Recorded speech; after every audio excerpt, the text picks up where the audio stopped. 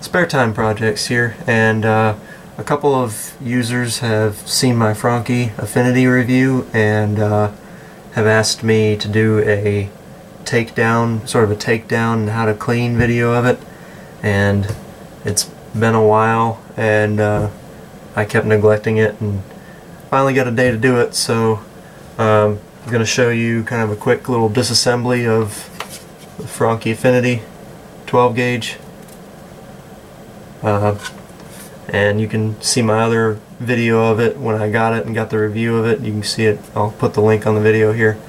Um, but this is just going to be a takedown and show you how to clean it.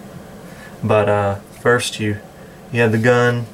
Of course you you know make sure check make sure it's empty. Nothing's in it.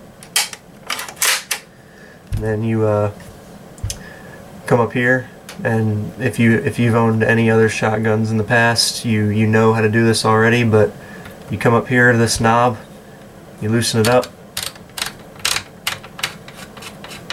take it off set it aside. Then you have your forearm here and uh, the thing about the Franchi here is that you you can pull it off but it stops you can see here you get you only get about an inch out of it. And that is because the bolt at this point needs to be closed. So what you do is you close the bolt and then forearm pulls right off. Just be careful with this the spring. Um, not to damage it you know don't, don't yank it off but remove it. You have your forearm here and uh, the forearm separates from the barrel pretty easily just uh, slide it back like towards where the rest of the gun would be. Just like that. Get you a better view here. It's, it's over this loop just it's on here and you slide it off like that. There's your forearm. So you set that aside. Then you have the rest of the gun. And to take the bolt out um, you have to take the, your charging rod or whatever you would call it charging handle um, that and you basically have to push it out. It's it's like pressed into the bolt. So what I do is take a pair of pliers and take a cloth rag put the rag around the charging handle so you don't damage it with the pliers put the pliers on and it takes some pulling but it'll snap off um, I'm not going to do that right now just for time's sake but once you pull that off the whole bolt which you know bolts right here and this little arm that goes around the spring I don't know if you can see it but there's a there's two little arms here that is part of the bolt basically and it all comes out. Uh, and that's how you get to the rest of the receiver and you can clean your bolt off because as you can see this is this is after uh, this is after about six or seven hundred rounds and it's still pretty clean. You know it's like stainless but um, I figured it after 700 rounds I need to clean it anyway even though it hasn't started failing or anything. Um, and trigger assembly. Uh, just take a small pin or screwdriver and there's one pin right there that you need to push out. So put your screwdriver on it, try to do this on the camera, uh, and then you just tap it out. And it should push out pretty easily. Comes out the other side, finish pulling it out, don't lose it. Then your trigger assembly will pull out. You pull top first, and then towards the front of the gun, it pulls right off. There's your trigger assembly. F for Franchi. Um, as you can see, after, like I said, six or seven hundred rounds, starting to get dirty, but hasn't failed me yet. Not one single failure in this gun. Uh, and then you get to the rest of the receiver.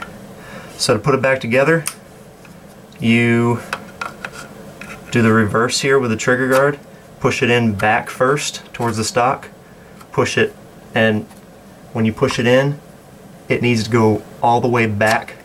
If I can do this backwards for you guys. Um, the back edge of the trigger guard needs to go in and then back against the stock like that. All the way down against the stock. Then the rest of the trigger guard the front here just should snap right in. Try to do this on the camera here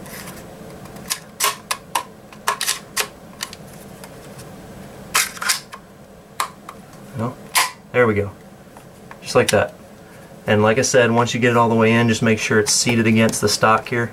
Push, push it against the stock really good. Then you take your pin, push it back in, and you may need to kind of pound on it with your hand, but mine just slides right in. Depends on how well broken in your gun is. Uh, just make sure it's in evenly on both sides.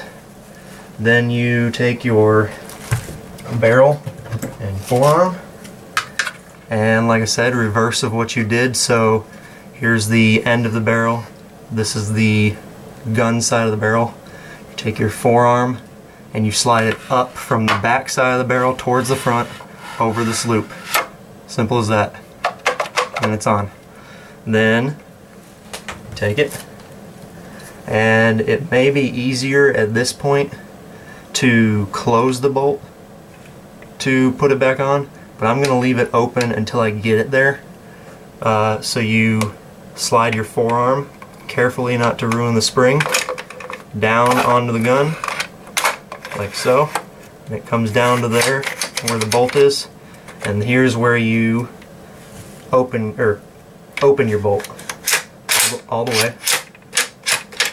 Come on. There we go. And then you slide it the rest of the way on Make sure it's seated all the way. Give it a tug. Make sure there's no gaps between the forearm or the barrel and the receiver. Once it's on all the way, grab your cap, twist it on, but be careful because you gotta kind of put it into the forearm and then make sure you don't cross thread it. And tighten it up. It'll start clicking if you hear that. And just do it hand tight tight as you can by hand. Don't reef on it. And there you go. Make sure everything's tight. Nothing moves around. Check your function. Everything's good. Fires. And you're good to go. So that is the basic disassembly and where to clean your Franchi Affinity. So thanks for the users that suggested it. Finally got it up for you guys. Sorry it's been so long. Uh, there you go. Stay tuned for more. Spare Time Projects out.